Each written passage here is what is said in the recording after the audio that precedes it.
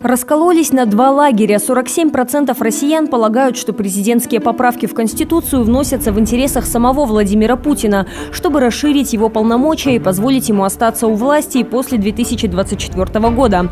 44% верят словам президента. Поправки нужны для совершенствования управления государством в интересах населения. Такие неоднозначные данные приводит Левада-центр. Коротко напомним о самых важных пунктах, которые коснулись высшего нормативно-правового акта Российской Федерации. Федерации. Приоритет Российской Конституции над требованиями международного законодательства. Закрепление статуса Госсовета. Расширение полномочий Госдумы, Совета Федерации, Конституционного суда.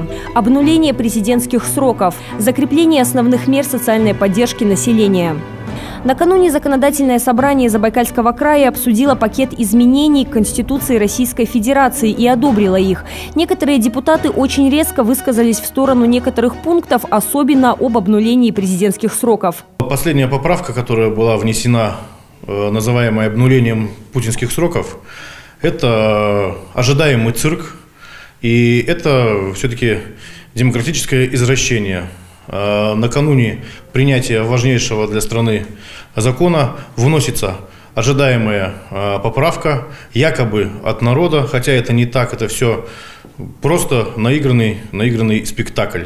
Депутат утверждает, что навязываемая людям информация является мнимой стабильностью, по-другому это назвать нельзя. Якобы Путин – это стабильность. Э, как я уже указывал, опять же, стабильность чего?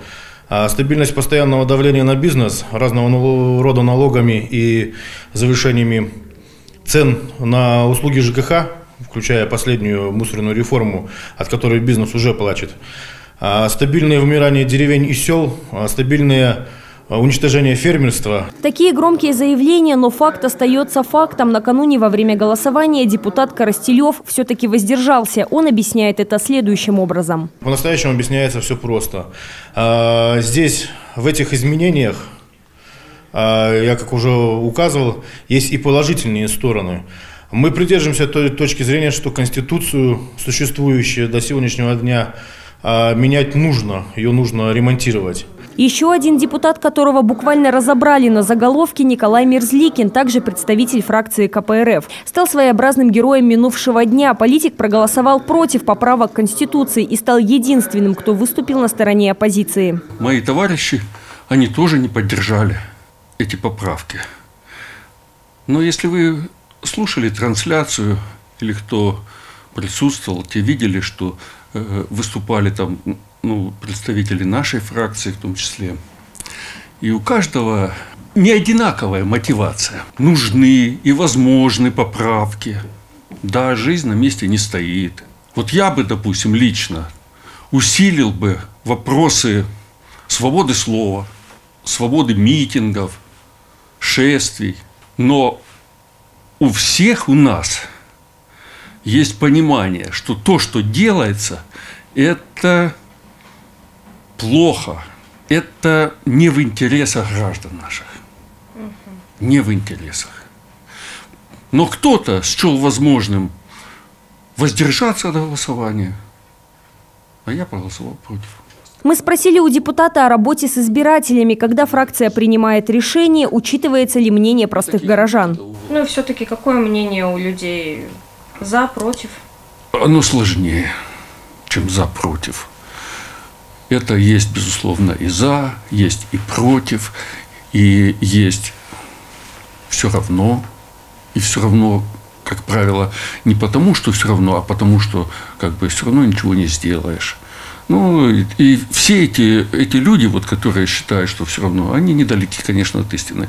Что касается читинцев, то о поправках они слышали. И, кстати говоря, вполне ими довольны. Некоторых смущает тот же вышеуказанный пункт обнуления президентских сроков. Ну, я думаю, что не все доведено до народа. Надо было как-то поконкретнее это, во-первых. А во-вторых, э, и Путина переизбирают. Это получается, что для Путина было Конституция под Путина была сделана. На это вы негативно все-таки смотрите? Ну да.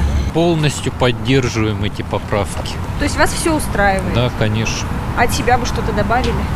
Да нет, все уже добавлено, я думаю, очень много поправок. Ну а вот обнуление, например, сроков президентских, к этому как относитесь? Очень сейчас негатива много в эту сторону. Я не знаю, это как всегда, пусть тот человек, который работает, пусть работает.